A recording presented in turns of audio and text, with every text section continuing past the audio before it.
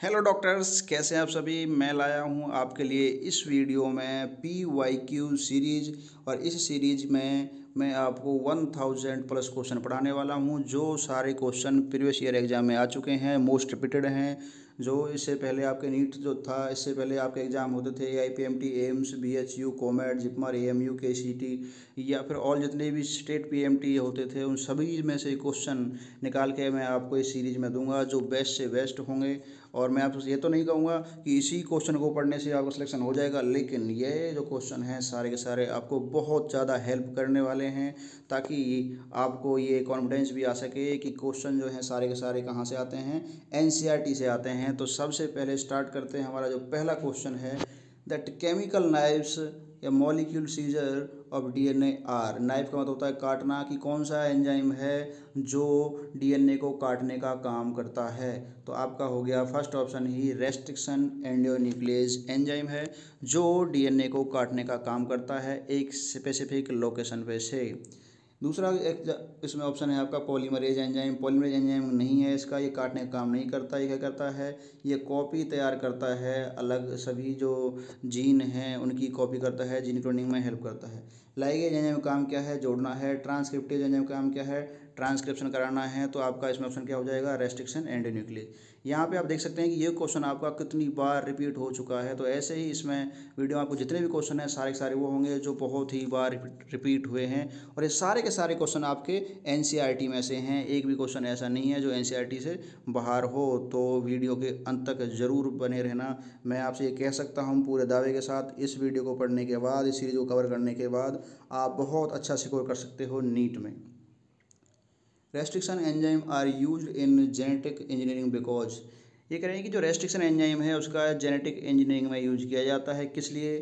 Can join DNA fragment कि ये DNA fragment को जोड़ सकता है? नहीं, ये गलत बात है। क्योंकि हमने अभी बताया था कि जो लाइगेज है, उसका काम क्या होता है? डीएनए फ्रेगमेंट को जोड़ने का काम होता है।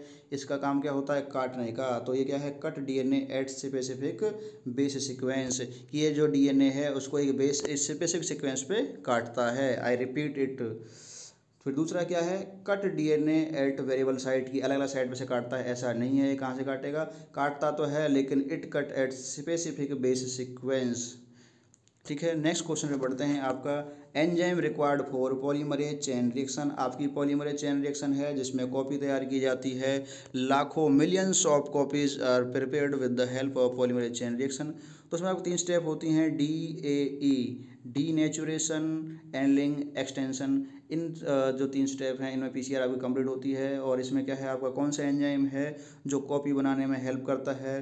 टैग पॉलीमरेज जो है, ये इसमें कॉपी करने में हेल्प करता है क्लोनिंग में हेल्प करता है। और टैग पॉलीमरेज जो है, आपका कहाँ से निकाला गया था? थर्मस एक्वेटिकस किससे थर्मस एक्वेटिकस से। नेक्स्ट क्वेश्चन आपका बनता है जेनेटिकली इंजीनियर्ड बैक्टीरिया जो जेनेटिकली इंजीनियर्ड बैक्टीरिया जो प्रिपेयर किया था, उसका यूज़ किसके लिए किया गया?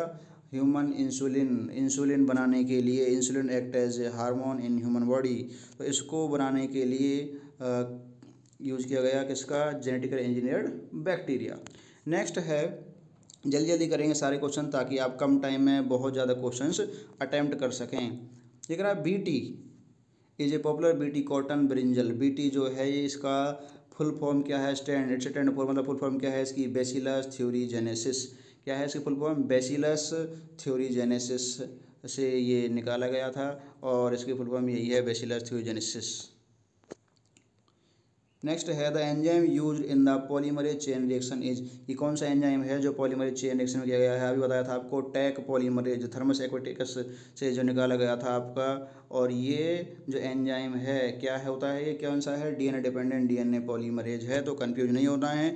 ये दोनों अलग अलग नहीं है। ये रहा आपका यहाँ पे पॉलीमरेज तो डीएनए डिपेंडेंट डीएनए पॉलीमरेज है, जो यूज़ होता है आपका पॉलीमरेज चेन रिएक्शन में। नेक्स्ट है आपका इल्यूशन इल्यूशन क्या होता है आपका? इल्यूशन होता है आपका cutting out of separated band of DNA from agarose gel ये जो एग्र जेल है, उसमें से जो कटेड जो डीएनए स्टैंड है, उनको अलग करना क्या कहलाएगा? इल्यूशन कहता है, उसमें से उनको बाहर निकालना। ये आपकी जेल इलेक्ट्रोसिस जो प्रोसेस है एन में, उसी के नीचे ये आपकी लाइन वहाँ आपको मिलेगी। मैं आपसे फिर दोबारा ये कह रहा हूँ कि जो एन है, बहुत ही इंपॉर्टेंट हैं। जितने भी क्वेश्चन हैं, सारे के सारे एन में हैं one by one Taq polymerase is used Taq polymerase is used in the polymerase chain reaction because तो यहाँ पे एक क्वेश्चन है, कई बार अलग अलग अलग तरीके से रिपीट किया जाता है कि टैक पॉलीमरेज जो है जिसका इस्तेमाल पीसीआर में किया जाता है, ये क्यों है? क्या है इसमें इसकी जो रेट है, वो फास्टर है? ऐसा भी नहीं है कि इट इज़ द ओनली सिर्फ़ यही एक एंजाइम है, ऐसा भी नहीं है। इसका ये आंसर है इट इज़ थर्मोस्टेबल कि ये हीट पे भी क्या है?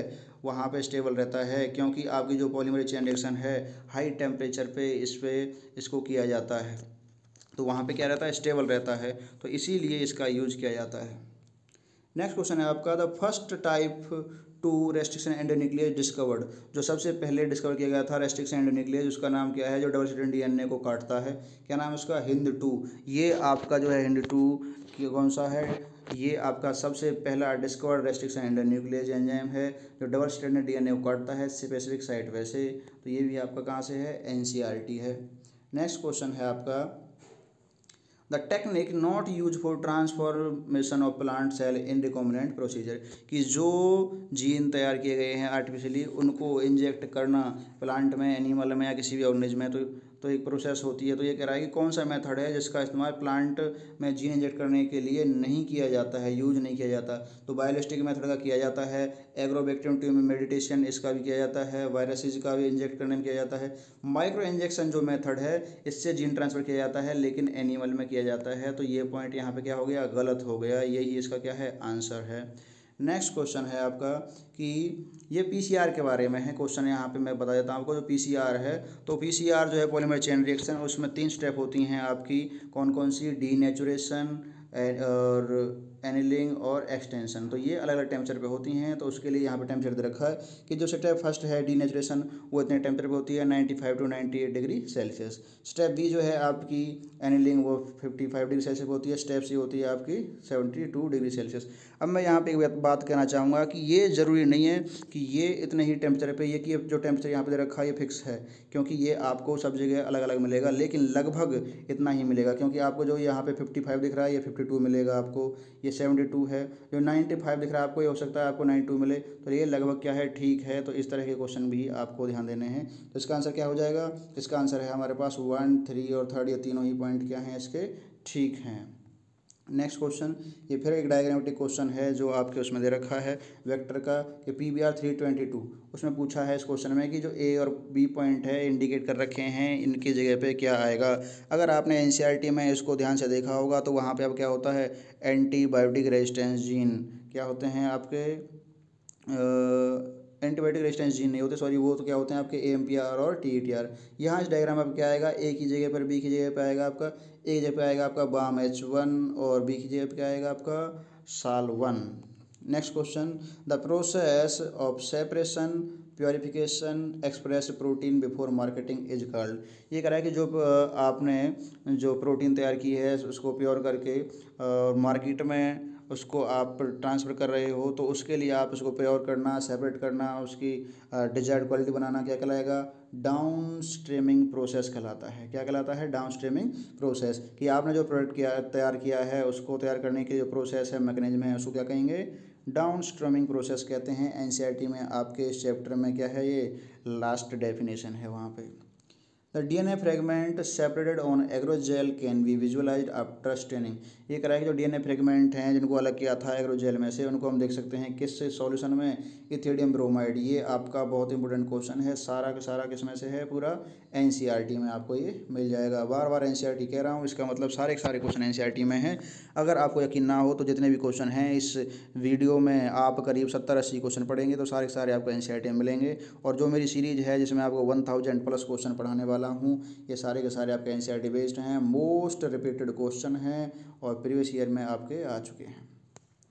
ये कह रहा है stirred tank bioreactor has been design कि जो आपका बायोरिएक्टर टैंक होता है, इसमें प्रोडक्ट तैयार किए जाते हैं और बायोटेक्नोलॉजी यूज़ करके, उसमें एक पाइप लगी होती है स्टायर टैंक, उसका यूज़ किस लिए होता है? ताकि इसमें ओ टू सप्लाई हो सके। तो यहाँ पे आपका ऑप्शन क्या है? ऑप्शन देखेंगे तो ये कह रहा है availability of oxygen throughout the process कि बायोरिएक्टर में जो प्रोसेस हो रही है, जो केमिकल प्रोसेस हो रही है, उसमें पूरी टाइम क्या रहे? ऑक्सीजन रहे। तो ये आपका ऑप्शन यहाँ पर क्या है? करेक्ट नेक्स्ट है आपका a foreign DNA and plasmid DNA cut by same restriction endonuclease दोनों कैसे काटे जाते हैं? रेस्ट्रिक्शन एंडोन्यूक्लियस द्वारा। कैन बी ज्वाइंट इनको आपस में ज्वाइन किया जाता है किसके द्वारा? तो ज्वाइन करने का काम किसका है आपका? लाइगेज एंजाइम का है, मैंने स्टार्टिंग बताया था आपका। तो काटने का काम किसका हो गया? रेस्ट्रिक्शन एंडोन्यूक्लियस का और आपका जोड़ने का काम किसका हो गया? लिंक करने का लाइगेज का। कॉपी बनाने किसका हो गया? पॉलीमरेज का। और पीसीआर में कौन सा होता है आपका? Taq polymerase DNA dependent DNA polymerase enzyme next है आपका which of the following is not a component of down streaming process की डाउन स्ट्रीम प्रोसेस में कौन सा है जो आपका प्रोसेस नहीं है? सेपरेशन बिल्कुल है प्योरिफिकेशन है प्रिजर्वेशन है। प्रिजर्वेशन प्रिजर्वेशन भी क्यों है? क्योंकि जो आपने प्रोडक्ट तैयार किया है, उसको प्रिजर्व करना कि वो ख़राब ना हो। तो ये सारी तीनों स्टेप यहाँ पे हैं। तो आपको क्या नहीं, यहाँ पे एक्सप्रेशन जैसी कोई स्टेप उसमें नहीं है। Next that which of the following is endonuclease कि इन चारों में से एंडोन्यूक्लियज का एंजाइम का एग्जांपल कौन सा है? तो सबसे पहले आपने पढ़ा था कि रेस्ट्रिक्शन जो एंडोन्यूक्लियज है, सबसे पहले कौन सा था? हिंद टू तो ये आपका यहाँ पे आंसर हो जाएगा। नेक्स्ट क्वेश्चन बढ़ते हैं आपका। बिना टाइम वेस्ट किए हुए। DNA fragments generated by restriction endonuclease in a chemical reaction can be separated by कराए तो डीएनए फ्रेगमेंट आपने रेस्ट्रिक्शन एंडोन्यूक्लियस से काटे हैं केमिकल केमिकल रिएक्शन में। उसको अलग अलग करना, कौन सी प्रोसेस होगी? जेल इलेक्ट्रोफोरेसिस क्या है? जेल इलेक्ट्रोफोरेसिस अगर आप अपना ये चैप्टर पढ़ेंगे biotechnology and biotechnology its principle उसमें ये आपको लेफ़्ट साइड में अपर पोर्शन पे ये आपका टॉपिक मिल जाएगा जेल इलेक्ट्रोफोरेसिस इसमें से बहुत क्वेश्चन बनते हैं तो इसको एक बार ज़रूर पढ़ लेना। नेक्स्ट है यहाँ पे आपका which of the following is not correctly matched for organism and its cell wall कि कौन सा है जो इनमें से मैच नहीं होता है सेल वाल के अकॉर्डिंग तो बैक्टीरिया जो है, उसकी सेल वाल किसे बनी होती है लाइसोजोम तो उसको डाइजेस्ट करने वाला एंजाइम क्या है? लाइसोजाइम बिल्कुल ठीक है। प्लांट सेल किस से बना होता है? सेलुलोज तो सेलुलोज डाइजेस्ट कौन करेगा? सेलुलेज फंजाई की जो सेल वाल किसे बनी होती है? काइटिन की. जिसको कौन डाइजेस्ट करता है डिग्रेड करता है एंजाइम काइटिनेज तो बचा क्या आपका?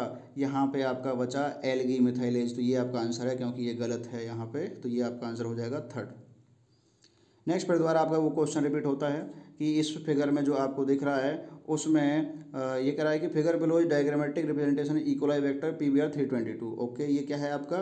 E coli vector P B R three twenty two है एन सी में दे रखा है।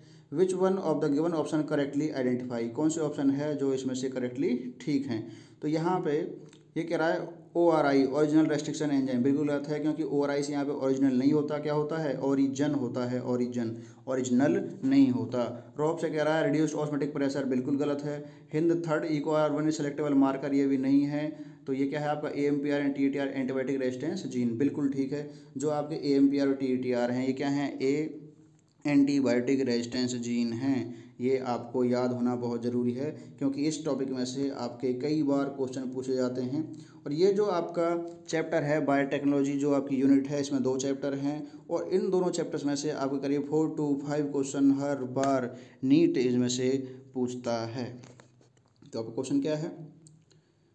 Which one is true statement regarding D N A polymerase use in P C R कि कौन स्टेटमेंट ठीक है पी सी आर को लेके? ये कह रहा है it is use to ligate introduce DNA in recipient cell कि इसका यूज़ किया जाता है जो डीएनए उसको इंजेक्ट करना है रेस्पेंट सेल में नहीं। इट्स सर्वे सेलेक्टेबल मार्कर ये भी गलत है। It is isolated from virus ये भी गलत है। ये क्योंकि मैकेनिज्म है, इसको आइसोलेट नहीं किया। ये कह रहा है it remains active at high temperature ये बिल्कुल ठीक है। अभी आपने पीछे क्वेश्चन में पढ़ा था। तो ये क्या है? ये हाई टेम्परेचर पे रिएक्ट कर सकता है एक्टिव है। मतलब ये क्या है? थर्मोस्टेबल होता है। तो ये क्वेश्चन यहाँ पे ठीक है। नेक्स्ट है आपका फोर ट्रांसफॉर्मेशन ट्रांसफॉर्मेशन के लिए micro particles coated with DNA to be bombarded with gene gun जो आपका जीन गन मेथड होता है, जिसके अंदर जीन को डाल के किसमें इंजेक्ट किया जाता है होस्ट सेल में होस्ट भी कौन किसमें डालते हैं प्लांट में। तो ये कराई कौन, जो वो जीन गन है बायोस्टिक जीन गन मेथड है तो उसमें जो जीन गन है, वो किससे बनी हुई रहती है? आपके एनसीआरटी में से आप सब लेकर पड़ा है गोल्ड एंड टंगस्टन तो ये आप बिल्कुल भी भूल नहीं सकते। तो गोल्ड टंगस्टन से जीन गन बनी हुई रहती है। नेक्स्ट क्वेश्चन है आपका। There is a restriction endonuclease called Eco R one what does co part तो को पार्ट से क्या होगा आपका? कोलाई होगा। इसे क्या होगा आपका? ये चेरिया हो जाएगा और को से क्या हो जाएगा? कोलाई। आर आपका सिट्रेन है और आई क्या है इसमें? आई नहीं है वन है। क्या है आपका? इसका नंबर है रोमन काउंटिंग्स में। एग्रोज एक्सलेटेड फ्रॉम सीवीड जो एग्रोजेल है उसका, उसको एक्सट्रैक्ट किया जाता है सीविड में से। इसका यूज़ किसमें किया जाता है? जेल इलेक्ट्रोफोरेसिस में किया जाता है।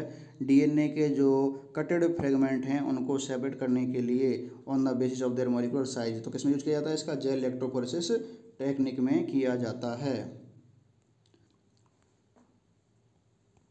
Next question restriction endonuclease are enzyme which जो रेस्ट्रिक्शन एंडोन्यूक्लियस उसके बारे में पॉइंट देखें तो देखते हैं क्या कर रहा है। It make cuts at specific position within the DNA molecule बिल्कुल ठीक है कि डीएनए मॉलिक्यूल को एक फिक्स पोजीशन पे से काटता है पर्टिकुलर पोजीशन पे से काटता है। नेक्स्ट है which one of the following is commonly use in to transfer foreign D N DNA into crop plant कौन सा मेथड है? Sorry which one of the following commonly use to transfer foreign D N DNA into crop plant इन चारों में से कौन है जिसमें use करके फॉरन डी डीएनए को क्रॉप प्लांट में डाला जाता है? तो क्रॉप प्लांट जो है प्लांट वहाँ पे आपका एक है बैक्टीरियम कौन सा? एग्रोबैक्टीरियम ट्यूमिफेसियन है। इसका यूज़ किया जाता है फॉरन डीएनए को ट्रांसफ़र करने के लिए किसमें प्लांट के अंदर। नेक्स्ट क्वेश्चन है आपका यहाँ पे द लिंकिंग लिंकिंग मतलब जोड़ना ऐड करना of antibiotic resistance antibiotic resistance कौन से हैं आपके? ए एम पी आर और क्या था? टी ई टी आर ये दोनों क्या हैं आपके? एंटीबायोटिक रेजिस्टेंस तो इनका ज़िक्र हुआ था, इसलिए इसको बता दिया। With the plasma vector become possible with तो ये जो लिंकिंग हो पाता है कौन से एंजाइम के द्वारा होगा? डीएनए लाइगेज के द्वारा, क्योंकि इसी का काम है जोड़ने का। एंडोन्यूक्लियोज को काटने का है डीएनए पॉलीमरेज का क्या है? कॉपी तैयार करने का है। तो नेक्स्ट क्वेश्चन आपका कि which of the which of these mostly widely use in genetic engineering कौन सा है जो इन सब में से ज़्यादा इस्तेमाल किया जाता है? किसमें जेनेटिक इंजीनियरिंग में। ये क्या है? आपका प्लाज्मिड है। प्लाज्मिड का यूज़ किया जाता है उसमें जीन क्लोनिंग के लिए। Plasmid of E. कोलाई तो नेक्स्ट क्वेश्चन है आपका यहाँ पे। R N R N A interference मतलब R N A I, is essential for the. किसके लिए ज़रूरी है ये? सेल के डिफेंस के लिए। किसके लिए? सेल के डिफेंस के लिए ज़रूरी है। Genetically modified crop can be produced by तो जेनेटिकली मॉडिफाइड जो क्रॉप है जेनेटिकली मॉडिफाइड क्रॉप कौन सी होती है? कि जेनेटिकली इनके द्वारा क्रॉप ऐसी तैयार की हुई क्रॉप जिसमें एबिलिटी हो कि वो डिसीज रेजिस्टेंट हो हाई ड्रॉट और साल्ट टेम्परेचर को झेल सके तो उसके लिए कह रहा है कि ये किससे प्रोड्यूस की जा सकती है? रिकॉम्बिनेंट डीएनए टेक्नोलॉजी ये बिल्कुल आपका फ़र्स्ट ऑप्शन ठीक है। रिकॉम्बिनेंट डीएनए टेक्नोलॉजी मतलब जेनेटिक इंजीनियरिंग ये एप्लीकेशन हो गया बायोटेक्नोलॉजी का एग्रीकल्चर डिपार्टमेंट में। Which of the following genes do not occur naturally in living organism कि कौन सा जीन है जो नेचुरली अकर नहीं करता है लिविंग ऑर्गेनिज्म में? बीटी जीन है आरएनएआई है क्राइजीन निकाला था, ये क्या है? एंडोजीनस साइटोप्लाज्मिक ये वहाँ पे नहीं होता है। नेक्स्ट क्वेश्चन है आपका। Adenosine deaminase a could be permanently cure if gene isolated bone marrow producing A D A introduce to cell यहाँ पे आपने क्वेश्चन पढ़ा होगा A D A deficiency disease जिसमें क्या यूज़ किया गया था? सबसे पहले फोर ईयर ओल्ड गर्ल जो थी, उसके बॉडी पे इसका यूज़ किया गया था, उसकी बीमारी को ठीक करने के लिए जो मेंटली रिटार्डेड थी। तो उसके लिए ये कह रहा है, इस, अगर ए डी ए जो ए डी ए डेफिशिएंसी की वजह से जो डिसीज है, उसका परमानेंटली क्योर करना है तो कौन सा मेथड इस्तेमाल किया जाता है? कि जो जीन है उसका इंट्रोडक्शन जीन का इंट्रोडक्शन सेल के अंदर कब हो? अर्ली एम्ब्रियोनिक स्टेज में। अर्ली एम्ब्रियो स्टेज में अगर जीन का इंट्रोडक्शन करा दिया तो ये परमानेंट इलाज है, वरना तो इस डिसीज का इलाज नहीं है। तो आपसे का ऑप्शन क्या हो जाएगा इसमें? फ़र्स्ट हो जाएगा, बहुत बहुत बहुत इंपॉर्टेंट क्वेश्चन है ये आपका। नेक्स्ट है आपका the protein product of the following BT toxin generally cry one A C cry two A B are responsible for कि जो क्राई वन ए सी और क्राई टू ए बी है, ये क्या है? कौन से जो हैं आपके इंसेक्ट हैं जिनको मारने में ये यूज़ कर, किए जाते हैं, जिनका किया जाता है किसको मारने के लिए? बॉल बॉम्ब्स इनको ख़त्म करने के लिए क्राई वन ए सी और cry two A B gene responsible होते हैं, इनको कंट्रोल नेक्स्ट है आपका BT toxin is BT toxin is a intracellular crystalline protein जो क्या करता है इंसेक्ट को मारने का काम करता है तो बीटी टॉक्सिन क्या है? इंटरसेलुलर टॉक क्रिस्टलाइन प्रोटीन होती है। नेक्स्ट है आपका BT toxin is harmful to insect like तो बीटी टॉक्सिन है, किस तरह के इंसेक्ट के लिए हार्मफुल होता है? लेपिडोप्टेरन जैसे कि टवेको बडवॉम या आमीवॉम coleopterans beetles dipterans flies and mosquito ये इन सभी के लिए क्या है? हार्मफुल है। इन इंसेक्ट को ख़त्म करता है और जो क्रॉप है क्रॉप प्लांट उसको प्रोटेक्ट करता है। तो बीटी टॉक्सिन इन सब के लिए क्या है? हार्मफुल है, इनके लिए डेंजर होता है। नेक्स्ट है आपका the genetically modified brinjal in India has developed for कि जो जेनेटिकली मॉडिफ जेनेटिकल इंजीनियर का यूज़ करके जो ब्रिंजल बनाया इंडिया में वो डेवलप्ड फोर किसके लिए डेवलप किया गया? इंसेक्ट रेजिस्टेंट की जो ब्रिंजल है, बैंगन है, का जो पेड़ होता है, उसमें कीड़े जल्दी लग जाते हैं इंसेक्ट उसको ख़राब कर देते हैं। तो इसलिए जीएम ओ मतलब जेनेटिकली मॉडिफाइड जो ऑर्गेनिज्म में जो ब्रिंजल बनाया उस मैकेनिज्म से, किस लिए बनाया गया? वो इंसेक्ट रेजिस्टेंट ताकि उसको इंसेक्ट खा नहीं सकें। नेक्स्ट आपका D N DNA and RNA segment tagged with radioactive molecule is called तो डीएनए और RNA segment tagged with radioactive molecule क्या कहलाते हैं? उसको प्रोब कहते हैं। क्या कहते हैं उसको? प्रोब कहते हैं जो DNA RNA segment tagged with DNA molecule is called probe next है आपका genetically engineering has been successfully used for producing genetical engineering का यूज़ किसके लिए किया गया था? Successfully transgenic mice for testing safety और polio vaccine before use in human being ये क्या है बात? आपकी बिल्कुल ठीक है। तो आपका ऑप्शन क्या हो जाएगा कि किस लिए किया गया? ट्रांसजेनिक माइस में, ताकि जो पोलियो की जो मेडिसिन बनाई थी, उसकी सेफ्टी टेस्टिंग हो सके माइस के ऊपर। नेक्स्ट है an improved variety of transgenic basmati rice जो बासमती राइस है बासमती बासमती जो चावल है वो जो इम्प्रूव किया गया था, उसको, उसमें क्या क्वालिटी थी? It give high yield and rich in vitamin A इसकी पैदावार ज़्यादा है और इसमें क्या होता है? विटामिन ए होता है जो आपकी आँखों के लिए आई साइट के लिए बहुत अच्छा होता है। नेक्स्ट है आपका the bacterium Bacillus thuringiensis is widely used in contemporary biology is an कि जो बेसिलस थ्योजेनेसिस है, इसका यूज़ किस लिए किया जाता है? बैक्टीरिया जो है बीटी टॉक्सिन जो इससे निकाला जाता है, उसको इंसेक्टिसाइड के तौर पे यूज़ किया जाता है ताकि इंसेक्ट को ख़त्म किया जा सके। अभी आपने एक क्वेश्चन पढ़ा था इसके लिए। तो बेसिलस थ्योजेनेसिस से जो बीटी टॉक्सिन बनाया जाता है, उसका यूज़ किया जाता है इंसेक्टिसाइड के तौर पर। What is true about BT toxin की बीटी टॉक्सिन के बारे में कौन सी बात ठीक है? ये कह रहा था inactive protoxin gets converted into active form in the insect gut बिल्कुल ठीक है कि जब, वैसे तो ये क्या है हार्मफुल नहीं होता, लेकिन जब इंसेक्ट इसको इंजेस्ट कर लेते हैं तो उनके गट में क्या है, ये इनएक्टिव फॉर्म से किसमें कन्वर्ट हो जाता है? एक्टिव फॉर्म में, और उसकी सेल में क्या है, ये पोर कर देता है। जब सेल वहाँ से ब्रस्ट हो जाती हैं, उसकी इंटेस्टाइनल सेल तो क्या है, ख़त्म हो जाते हैं डाइड हो जाते हैं। तो आपका ऑप्शन क्या हो जाएगा यहाँ पे? फ़र्स्ट ऑप्शन यहाँ पे ही ठीक है। नेक्स्ट है आपका जो Rosie cow is a transgenic cow, used to produce type of milk which has following character except ये पूछा एक्सेप्ट कौन से के अलावा? तो अगर प्रोटीन प्रोटीन कंटेंट 2.4 ग्राम पर लीटर ये ओके है, बिल्कुल बात एन में लिखी हुई है। It has alpha human alpha lactalbumin ये भी ठीक है। More balance diet than normal cow, than normal milk for baby जी, बिल्कुल ठीक है नन ऑफ़ दीज तो इसका आंसर क्या हो जाएगा? नन ऑफ़ दीज क्योंकि ये सारे सारे पॉइंट क्या हैं? ठीक हैं, जो ट्रांसजेनिक काओ जो बनाई थी रोजी, उसके मिल्क में तीनों करेक्टर होते हैं। The use of bio bioresources by multinational companies and other organisation without proper authorisation from the country and people concerned without compensatory payment is called उसको क्या कहेंगे हम? बायोपायरेसी कहते हैं कि बिना परमिशन के यूज़ करना और फिर उसके लिए क्या है?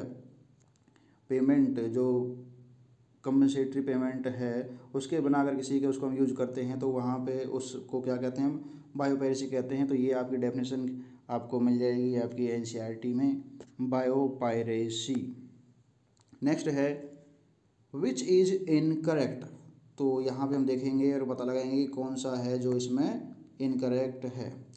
Specific BT toxin gene have been acid from Bacillus thuringiensis बिल्कुल ठीक करा है। जो बीटी टॉक्सिन है उसको किससे आइसोलेट किया गया? बेसिलस थ्योरेजेनेसिस से। आ, ये क्या है आपका? Meloidogyne incognita does not infect the root of तवाकू plant ये गलत है क्योंकि ये तवाकू प्लांट के रूट को अफेक्ट करता है। तो यही पॉइंट आपका क्या हो जाएगा? आंसर क्या हो जाएगा इसका? ये ठीक हो जाएगा। ये आंसर क्या हो इसका? हो जाएगा इसका? आपका ठीक हो जाएगा। ठीक है? तो आंसर क्या है इसका? सेकेंड नेक्स्ट है आपका आरएनएआई जो है, is a mechanism to silence gene with the help of, जो आर एन आई है आर एन ए इंटरफेरेंस जो मैकेनिज्म है, कौन से उसमें किया जाता है इसका? Double stranded double stranded DNA किसमें? डबल स्ट्रेंडेड डीएनए नेक्स्ट है to protect tobacco plant against incognita using R N I nematode specific gene, were in plant using, कौन से, किसके द्वारा किया जाता है उसको ठीक करने के लिए एग्रोबैक्टीरियम ट्यूमिफेशियन को इंजेक्ट करके। तो टोबैको प्लांट को इन्फेक्ट कौन करता है? मेलोडगाइन इनकोग्नेटा ठीक किस वजह से होगा? एग्रोबैक्टीरियम ट्यूमिफेशियन की हेल्प से। फिर क्वेश्चन आपका रिपीट हुआ है permanent cure of AD deficiency could भी कैसे हो सकता है कि जो अर्ली इम्यून स्टेज है, उसी में जीन को ट्रांसफ़र करके तो ऑप्शन आपको क्या है यहाँ पे? Introduction of gene isolated from bone marrow producing ADA into early immune stage ये आपका आंसर यहाँ पे बिल्कुल ठीक हो जाएगा। नेक्स्ट है polymerase chain reaction is not use in not use in किसमें यूज़ इसका नहीं किया जाता है। Confirmatory presence of pageant during early infection identification of mutated gene in suspected cancer patient, isolating gene of interest from host DNA to clone recombinant procedure detection और presence of H तो ये question आपका गलत है। Next to test the safety of polio vaccine the organism you are use as transgenic ये कराए कि polio के वैक्सीन के लिए जो ऑर्गेनिज्म का यूज़ किया गया था, उसके टेस्टिंग के लिए सेफ्टी टेस्टिंग के लिए तो क्या था? Mice. Which protein has produced generating transgenic sheep जो ट्रांसजेनिक सीप थी, ये कराया, उसमें is use for replacement therapy individual Atreus के फ्रॉम एम्फाइसेमा एम्फाइसेमा से बचाने के लिए। उसमें क्या था? विच प्रोटीन बीन प्रोड्यूस्ड तो कौन सी प्रोटीन प्रोड्यूस हुई थी? ट्रांसजेनिक सीप से। क्या है? अल्फ़ा एंटी ट्रिप्सिन क्या है? अल्फ़ा एंटी ट्रिप्सिन और रोजी जो गाव थी ट्रांसजेनिक एनिम गाँव, उसमें क्या थी?